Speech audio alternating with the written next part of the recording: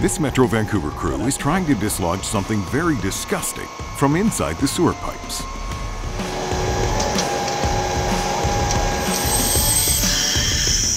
They've been at it several nights. Already, they pulled out this, and this, and this. And they think there's still more to come. These are hardened globs of cooking grease, aka fatbergs. And they're super stuck to the inside of the pipes. Figuring out how much is in there and how to chip it off has been a challenge. Year-round, Metro Vancouver liquid waste crews clean out sewer mains with this special truck that sprays high-pressure water inside the sewer pipe and vacuums out the debris. It works well for standard pipes.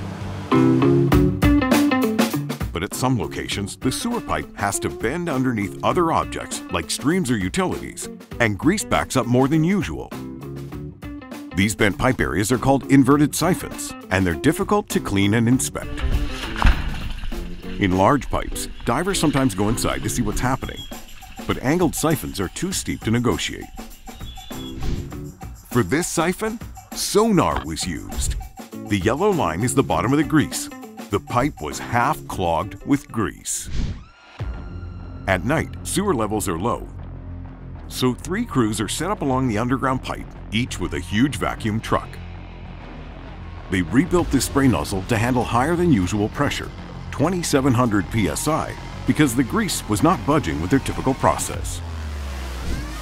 The red spray hose has been inserted into the sewer, but it's not advancing. It's stuck. They're going to try readjusting, so they're pulling it out. And look what comes up. Wipes, plastic, hair, floss, string, all this twists together and with the grease becomes solid. They try again, and the hose moves forward this time. As the water jets dislodge chunks, the crews try to catch, smash, and vac, but there's so much grease that it flows downstream to the other crews. Some grease ends up at the wastewater plant, where it clogs the intake screens and strains the treatment process.